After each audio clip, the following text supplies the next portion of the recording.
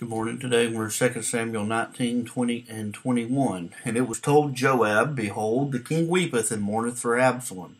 And the victory that day was turned into mourning unto all the people, for the people heard say that how today the king was grieved for his son. And the people gat them by stealth in that day into the city, as people being ashamed steal away when they flee in battle.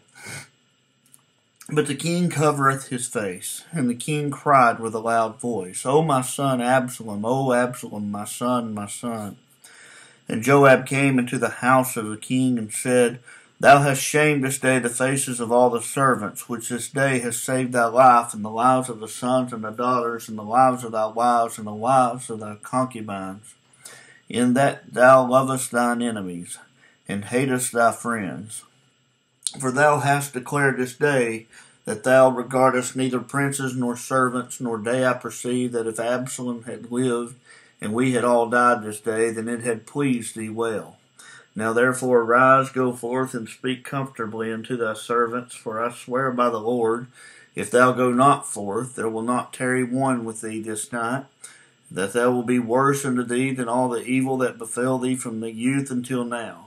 Then the king arose and sat in the gate, and they told unto all the people, saying, Behold, the king doth sit in the gate. And all the people came before the king, for Israel had fled every man to his tent. And all the people were at strife throughout all the tribes of Israel, saying, The king has saved us out of the hand of our enemies, and delivered us out of the hand of the Philistines, and now he has fled out of the land for Absalom. And Absalom, whom we anointed over us, is dead in battle. Now therefore, why speak ye not a word of bringing King King back? And King David sent Zadok and Abiathar the priest, saying unto the elders of Judah, saying, Why are ye the last to bring the king back to his house, seeing the speech of all Israel is come to the king, even to his house? Ye are my brethren, ye are my bones and my flesh.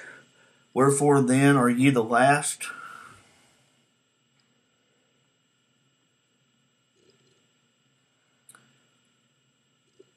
Sorry about that. I don't. My computer scrolled down. Let me find where we were.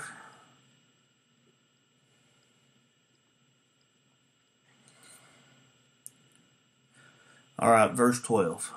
Ye are my brethren, ye are my bones and my flesh.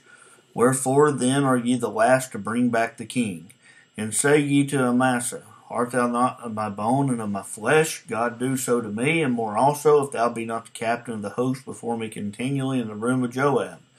And he bowed the heart of all the men of Judah, even as the heart of one man, so that they sent his word unto the king, Return thou and thy servants.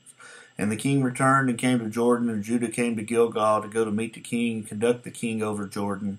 And Shemaiah the son of Gera, Benjamite, which was Bahurim, hasted and came down with the men of Judah to meet King David.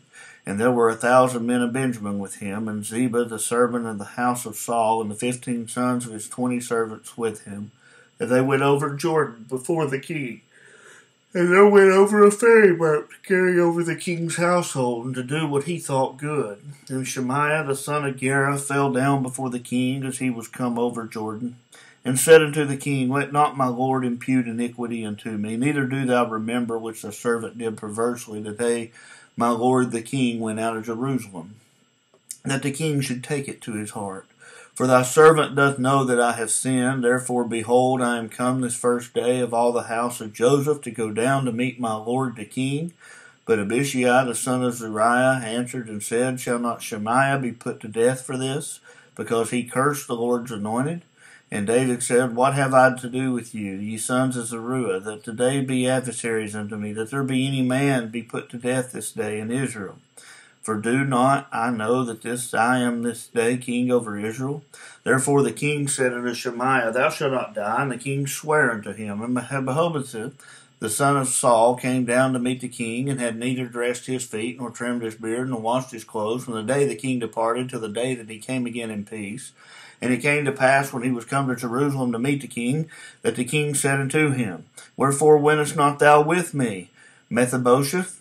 And he answered, My lord, O king, my servant deceived me, for the servant said, I will saddle me an ass, and I will ride thereon, and go to the king, because thy servant is lame. And he has slandered thy servant unto my lord the king. The Lord The king is as an angel of God. Do therefore what is good in thine eyes. For all my father's house were but dead men before the Lord my king. The, thou the servant among them that did eat at thine own table. What right therefore have I yet to cry any more unto the king? And the king said unto him, Why speakest thou any more of thy matters? I have said, Thou and Ziba divide the land. And Mephibosheth said unto the king, Yea, let him take all, for as much as the Lord the king is come again in peace into his own house. And Barzillai the Gilead came down from Rogelim and went over Jordan with the king to conduct him over Jordan. Now Barzillai was a very aged man, even fourscore years old, and he had provided the king of sustenance while he lay at Mahanaim, for he was very great man. And the king said unto Barzillai, Come thou over with me, and I will feed thee with me in Jerusalem. And Barzillai said unto the king, How long have I to live, that I should go up with the king into Jerusalem? I am this day fourscore years old, and I can and can I discern between good and evil? Can thy servant taste what I eat or what I drink? Can I hear any more the voice of singing men and singing women? Wherefore then should thy servant be yet a burden unto my lord the king?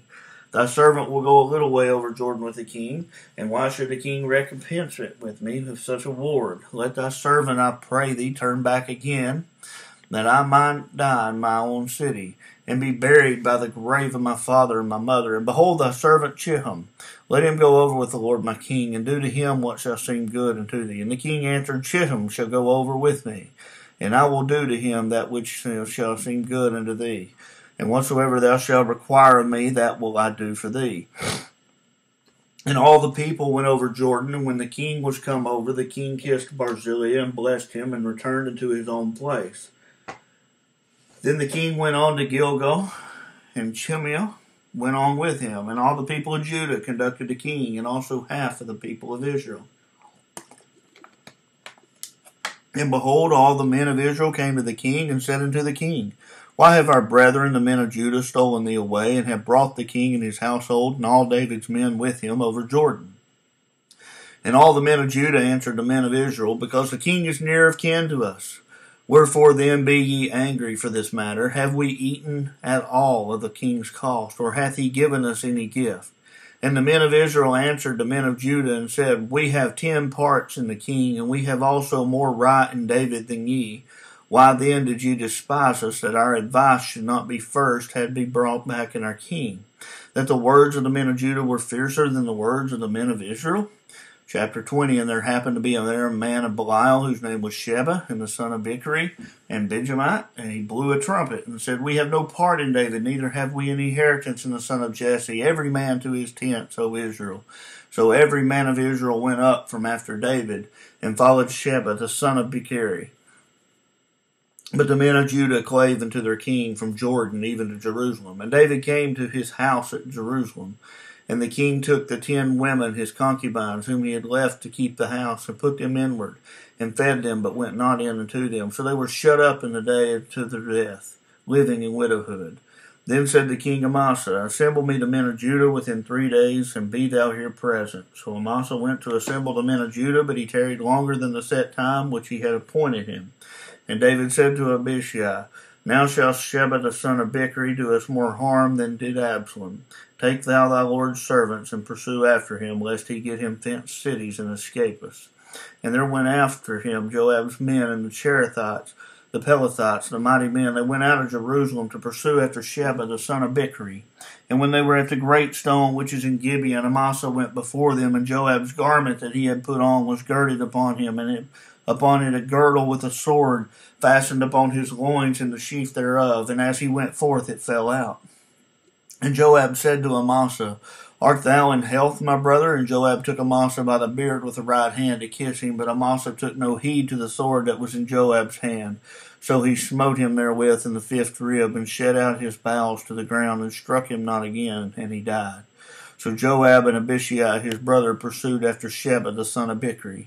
And one of Joab's men stood by him, and he said, He that favoreth Joab, he that is for David, let him go after Joab. And Amasa wallowed in blood in the midst of the highway. And when the man saw that all the people should steal, he removed Amasa of the highway in the field, and cast a cloth upon him. When he saw that every one that came by him stood still. But he was removed out of the highway, and all the people went on after Joab to pursue Sheba the son of Bichri. And he went through the tribes of Israel into Abel to Bethamek and to the Berites that they were gathered together, and went also after him. And they came and besieged him and Abel, Abel the Bethmaachah, and they cast up a bank against the city, and it stood in a trench, and all the people that were with Joab battered the wall to throw it down. Then cried a, wise woman out of the city, Hear, hear, say, I pray you unto Joab, come here nither, that I speak with thee. And he was come unto her. The woman said, Art thou Joab? And he answered, I am. He, and then she said unto him, Hear the words of thy handmaid. And he answered, I do hear. Then she spake, saying, They won't, they were wont to speak in old times, saying, They shall surely ask counsel at Abel. And so they ended the matter. I am one of them that are peaceable and faithful in Israel. Thou seekest to destroy a city and a mother in Israel. Why wilt thou swallow up the inheritance of the Lord? And Joab answered and said, Far be it. Far be it from me that I should swallow up or destroy. The matter is not so, but a man of Mount Ephraim, Sheba the son of Bichri by name, hath lifted up his hand against the king, even against David. Deliver him only, and I will depart from the city. And the woman said unto Joab, Behold, his head shall be thrown up to thee over the wall. Then the woman went up into all the people in her wisdom, and they cut off the head of Sheba the son of Bichri, and cast it out to Joab, and he blew a trumpet. And they retired from the city, every man to his tent. And Joab returned to Jerusalem and to the king. Now Joab was over the host of Israel, and Benaiah the son of Jehoiada was over the Cherethites and over the Pelethites. And Adoram was over the tribute, and Jehoshaphat, Jehoshaphat the son of Ahilud was the recorder. And Sheva was scribe, and Zadok and Abiathar were priests, and Ira the also the Jairite was a chief ruler about David in chapter 21. Then there was a famine in the days, three years, year after year. And David inquired of the Lord, and the Lord answered, It is for Saul, it is for bloody house, because he slew Gibeonites. And the king called the Gibeonites and said unto them, Now the Gibeonites were not of the children of Israel, but of the remnant of the Amorites, and the children of Israel had sworn unto them, and Saul sought to slay them in his zeal to the children of Judah and Israel. Wherefore David said unto the Gibeonites, What shall I do for you, and wherewith shall I make atonement, that you may bless the inheritance of the Lord? And the Gibeonites said unto him, We will have no silver nor gold of Saul nor his house, neither for us to kill any man in Israel. And he said, What shall you say that I will I do for you? And they answered the king, The man that consumed us and devised against us that we should be destroyed from the remaining of any coast of Israel, let seven men of his sons be delivered unto us, and we will hang them up unto the Lord in Gibeon of Saul, whom the Lord did choose. And the king said, I will give them. But the king spared Mephibosheth, the son of Jonathan, son of Saul, because the Lord's oath that was between them, between David and Jonathan and the son of Saul.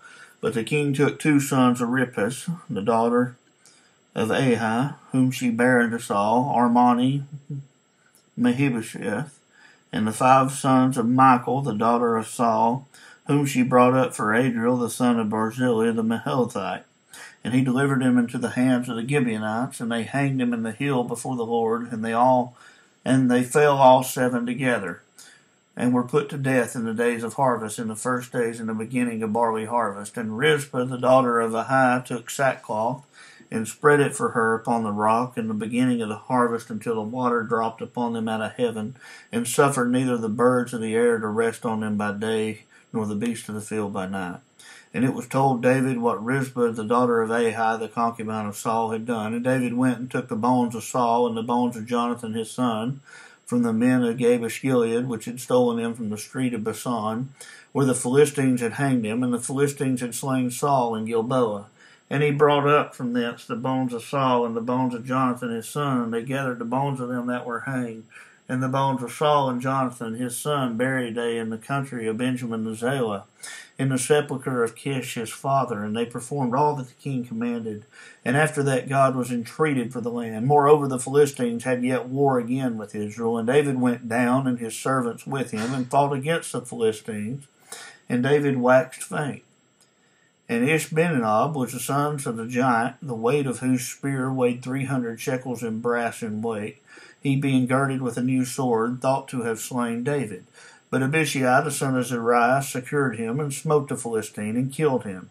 Then the men of David sware unto him, saying, Thou shalt go no more out to battle with us, thou quench not the light of Israel. And it came to pass after this that there was again a battle with the Philistines at Gob. Then Sibbechai the Hushathite slew Saph, which was the sons of the giant. And there was again a battle in Gob with the Philistines, where Elhanan the son of Jeroham, a Bethlehemite, slew the brother of Goliath the Gittite, the staff of whose spear was like a weaver's beam. And there was yet a battle in Gath, where was a man of great stature that had on every hand six fingers, and on every foot six toes, four and twenty in number, and he was also born to the giant. And when he defiled Israel, Jonathan the son of Shimei, the brother of David, slew him. These four were born to the giant in Gath, and fell by the hand of David, and by the hand of his servants.